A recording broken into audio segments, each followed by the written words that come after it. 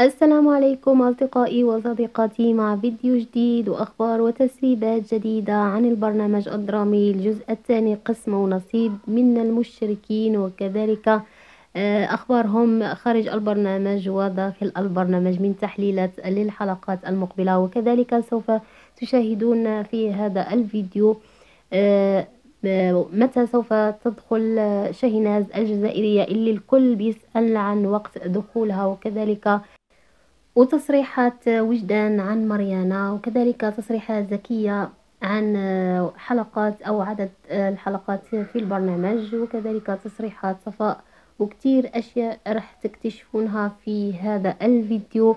وشو بيقول الفانز في حلقة اليوم وحلقة أمس يعني وتصرفات دعاء ورد دعاء على هجوم الفانز بتقليدها للفرح وخلط أوراق كثيرة راح تصير مع المشترك علي.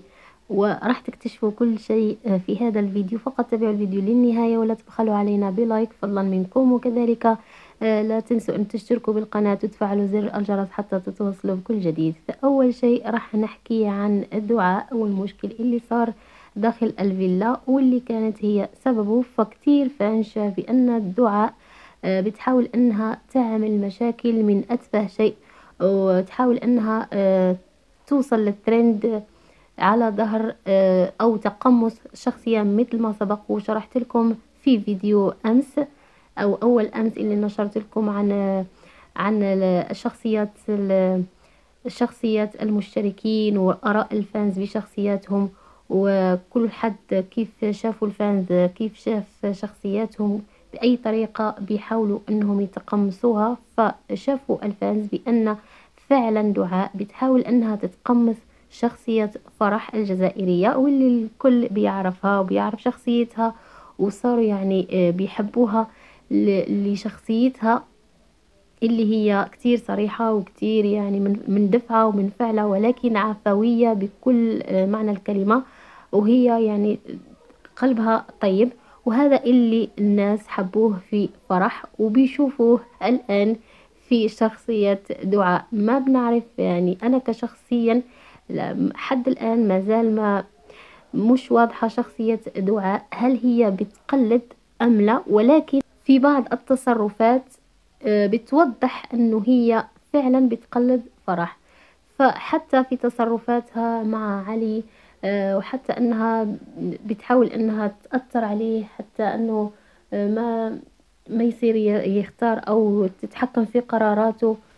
فكتير فانز وكتير صفحات بتروج وتقول إنه آه إنهم مزعوجين من شخصية دعاء آه وصراخة ومشاكلها اللي تافهة جدا وبيشوفوا الفانز إنها تقلد مئة بالمئة فرح وبكل تصرفاتها بكل كلامها وتتصنع كتير. ومثل ما آه شرحت لكم آه إنه الفانز ما حب هذا التصنع فيها وتقمص شخصية فرح.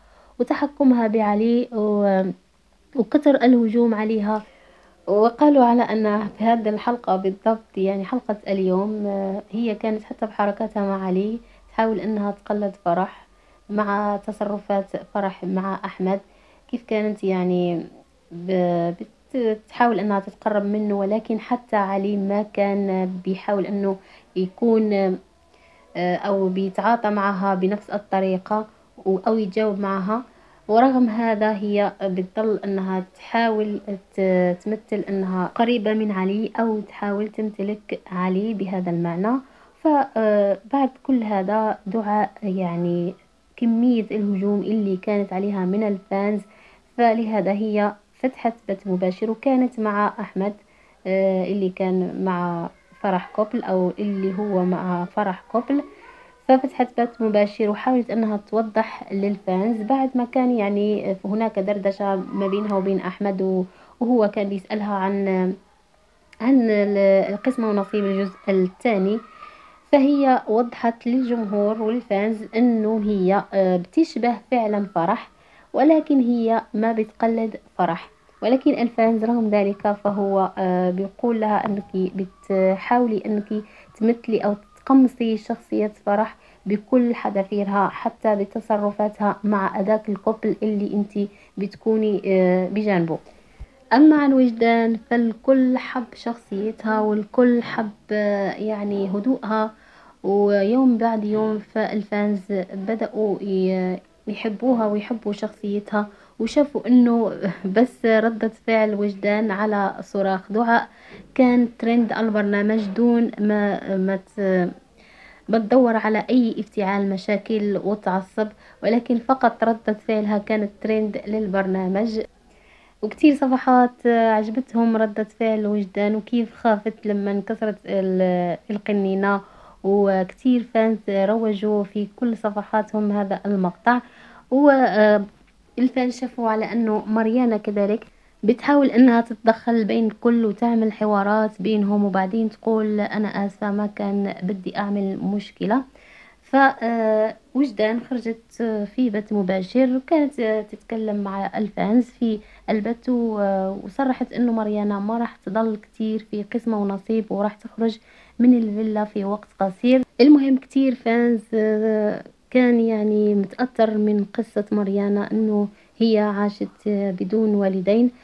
وهناك يعني فارس اللي دائما بينشر وكنت دائما بقولكم عليه إنه بيفتح المشاكل ولكن اتضح إنه فارس هي شخصيته كتير جيدة وبي يعني شخصيته بيحب إنه يقول الحقيقة وما بيحب ينافق وهذا اللي شافوه ال fans عليه. وكل ستورياته تتحدث على وجدان وجمال وجدان.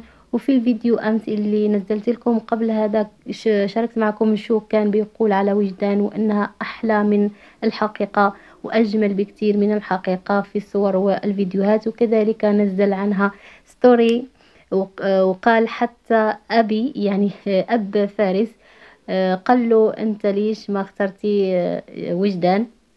يعني كان بيعاتب بيعاتبه هو ليه ما اختار وجدان و ويتضح إنه فارس يعني معجب كتير بوجدان وشخصية وجدان وحتى إنه شارك ستوري كذلك وقال فيه يعني ليش يا طارق ما اخترت لي البنت اللي قلت لك عليها في المطبخ؟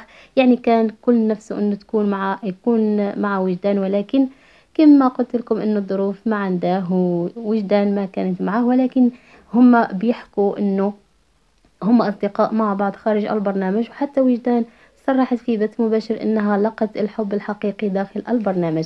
وحتى إنه فارس اليوم بحسابه نشر هذا الفيديو من كواليس قسمة ونصيب من مع وجدان وكتب جمال الباربي ديالنا مع غروب الشمس. يعني فارس صريح جدا وجريء جدا ب بإعجابه بوجدان وشخصية وجدان وكل كلمة بيقولها عبر حسابه بالإنستغرام بدون أي خجل أو بدون أي تحفظ. أما عن شاهناز الجزائرية فالكل من الفانز والمشاهدين منتظرين دخولها ووقت دخولها للبرنامج على أحر من الجمر وكتير فانز يعني صاروا يدخلوا على حسابها بالخاص وبيسألوها إمتى راح تدخلي راح تدخلي للبرنامج. فهناك محادثة ما بعرف إذا كان هذا التسريب صحيح من حسابها أم لا. المهم هذا التسريب يوضح أنه ردت راح تدخل يوم ما بين الحلقة 14 أو 15 راح تكون وجدان المهم كما قلت لكم ربما هذا التسريب صحيح أم لا. وكذلك فبيقولوا كتير في صفحات وفانز مشاهدين على إنه وقت دخول شاهيناز للبرنامج راح تتغير كتير أشياء وراح تتخلط كتير أوراق في داخل البرنامج. وكذلك زكية عملت بث مباشر وخلال هذا البث سألوا الفانز عن كم حلقة في البرنامج. قالت إنه راح يكون فيه بس ثمانون حلقة وإنه وجدان صديقتها وحبيبتها وكلهم صديقاتها حاليا ووجدان هي حاليا في المغرب لأنها بتعيش في المغرب. وسألوا حتى صفاء في البث المباشر عن علي. قالت إنها ما راح تكون مع علي ولا حتى نيكولا وهذا الشخص اللي راح تكون هي معاه. ما انتشر ابدا عبر وسائل التواصل الاجتماعي. وقالت إنه ما نشر صوره ولا مرة وإنه أحلى من الموجودين. لكن في اللي بيروج ويوضح خلال البث المباشر اللي حصل بينها وبين نيكولا بيقولوا إنه هذا الشخص هو نيكولا آه، ولكن آه، ما حبت إنها تبين حتى يكون مفاجأة وما تحرق الأحداث لأن خلال هذا البث المباشر اللي كانت مع صفاء ونيكولا فهو آه، أخبرها إنها راح راح إنه راح يروح على بلده لكن هي كانت كأنها راح تبكي على بعده وإنه خبرها إنه راح راح يسافر. فلهذا استنتجوا الفانز إنها بتحكي على نيكولا ولكن ما حبت توضح هذا. أما عن مريانا الفتاة الجديدة اللي دخلت للبرنامج فكتير فانز بيروج ويقول على أنها قريبة من ريتا. يعني من جديد فتاة جديدة لبنانية تدخل على البرنامج وراح تصير الأنظار إلها. وكتير ناس راح يتحدثوا عنها أنها آه، قريبة لريتا وهي اللي راح يكون مسلط عليها الأضواء وهي اللي راح ممكن يتعاد عليها السيناريو مثل جينيفر وخالد وتكون هي الفائزة بقسمة ونصيب. فكتير fans قالوا إنها قريبة لها يعني هي أحد صديقات من بنات ريتا.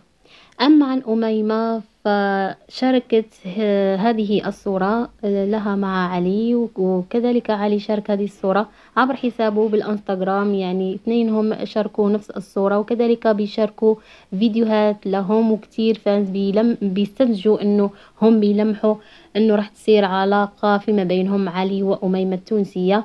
وكتير fans بيقولوا إنه حبينا هذا ال couple وراح يكون كتير couple مميز. وكتير مشاهدين شافوا على إنه أميمة ووجدان آه، أكتر شخصين حبوهم المشاهدين وعاطين قيمة لنفسهم وكلامهم موزون وما في تصنع أبدا.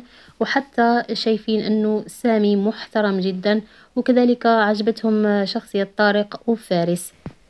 وكان هذا هو الفيديو من أخبار وتسريبات وكذلك أشياء كثيرة شاركتها معكم.